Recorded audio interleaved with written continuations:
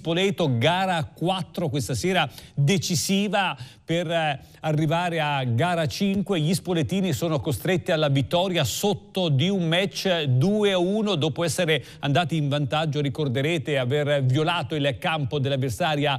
pugliese Castellana Grotte sul 2-0 in gara 2 a Spoleto con due match point sbagliati furono rimontati con la vittoria del Castellana che poi avrebbe bissato il successo in casa propria. Dunque gara da vincere quella di questa sera al Palarota con inizio alle 20.30 agli ordini del tecnico Provedi buona notizia ci sarà anche il capitano Nat Monopoli. È stato infatti accolto il ricorso della Monini Marconi che ha ridotto fatto le due giornate di squalifica a soltanto una, era stato squalificato Monopoli dopo proprio gara 2 di cui dicevamo quella che aveva visto gli spoletini ad un passo dal 2-0. Eh, gara dunque che a Spoleto è attesissima, si prevede il tutto esaurito nella speranza che poi a decidere sia gara 5 ancora in trasferta in terra pugliese.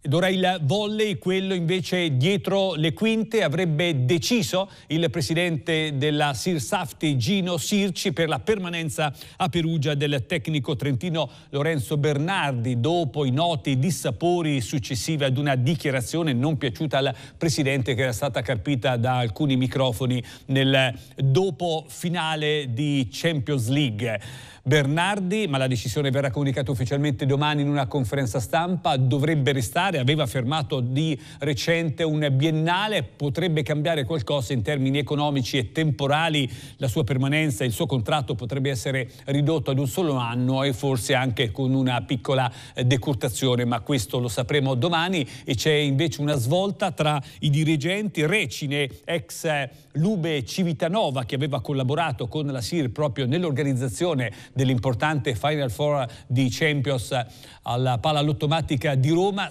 il nuovo direttore eh, tecnico dei eh, Perugini, eh, resterà direttore sportivo Vujevic e sarà direttore generale invece Rizzuto, ma ne parleremo meglio domani dopo la conferenza di cui abbiamo detto. Ed ora in chiusura salutandovi un